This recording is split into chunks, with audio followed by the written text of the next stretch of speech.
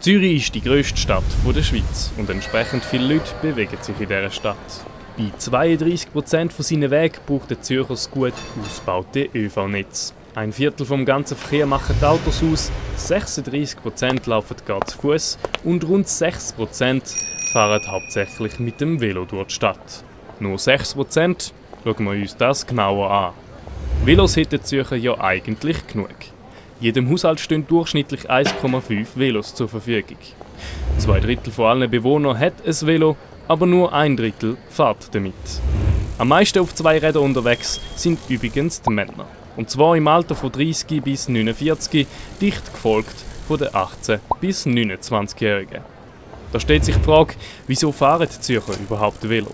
Ein großer Teil fährt Velo, weil es gesund ist. Die meisten aber, weil die Strecke so kurz ist. Das macht auch Sinn. Bei Strecken bis zu 5 km kann das Velo mit ÖV und Autos mitheben. Lange Warte- und Umsteigezeiten bleiben einem da erspart. Unter der Woche sind übrigens 60% mehr Velos auf der Straße als am Wochenende.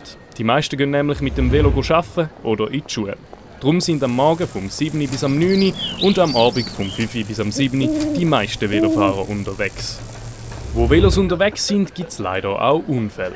Verhältnismäßig viele Unfälle passieren übrigens in der Nacht, obwohl es dann wenig Verkehr hat. Die Zürcher fahren halt gern vom Ausgang heim. Das lohnt sich übrigens doppelt nicht. Wer betrunken verunfallt, riskiert nicht nur einen Bus, sondern auch einen Führerscheinentzug. Oh Zahlenmäßig passieren aber die meisten Unfälle an den vielen gefährlichen Stellen in der Innenstadt, wo es viel Verkehr, wenig Platz Tramschienen oder keine Velostreifen hat.